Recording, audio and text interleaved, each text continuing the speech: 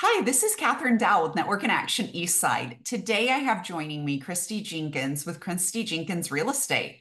Thank you so much for your time today. I'm excited to meet with you. Oh, thanks, Cathryn. I appreciate it. Yeah, so tell me, what made you go into real estate? Um, so I was a young mom and raising two girls with my husband and working a corporate job. And I just felt like uh, I could do something better. I could do something that allowed me to be at home with them when I needed to be. I could be in the PTA, I could go to their school functions, and I could still have a very fulfilling and successful career.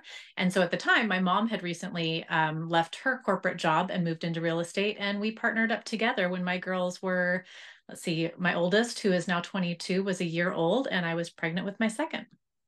Oh, that's awesome way to create a family business and then be able to really get to have the life that you want and be able to participate in your kids' life. So yeah, it was great. And at the time, you know, being with my mom, we were able to bounce things off of each other. She could help with childcare while I worked, and vice versa. And so, during those early years, it was uh, it was really really beneficial to have a partner in it.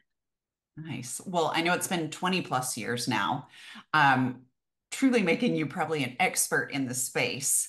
But what do you feel like sets you apart from other realtors out there? Um, I think one of the things is I I live and work in the same area that I grew up in and raised my own kids in. And so I know all of the neighborhoods. I know what makes each of them unique.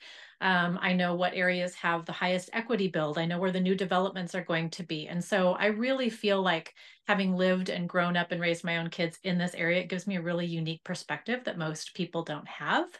Um, and I also have the privilege of walking through so many different stages of life with families from first time homebuyers um, all the way to their second, third home investment properties.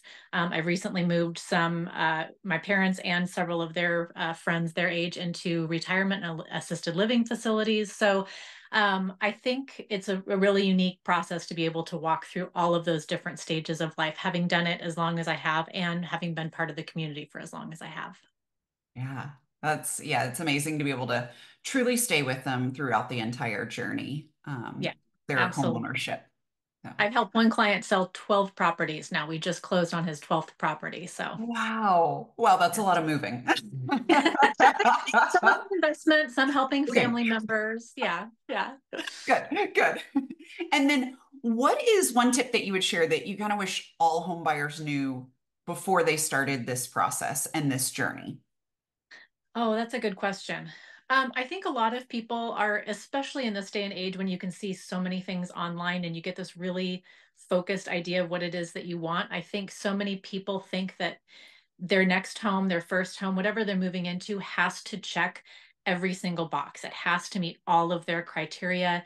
And if it doesn't, they, they kind of get stuck. But I think there are so many things that are malleable when you move into a home, so many things that can be changed, so many things that can be um, you know, it, it, small changes make a big difference. And I think some people get really, really super hyper focused on checking all of the boxes.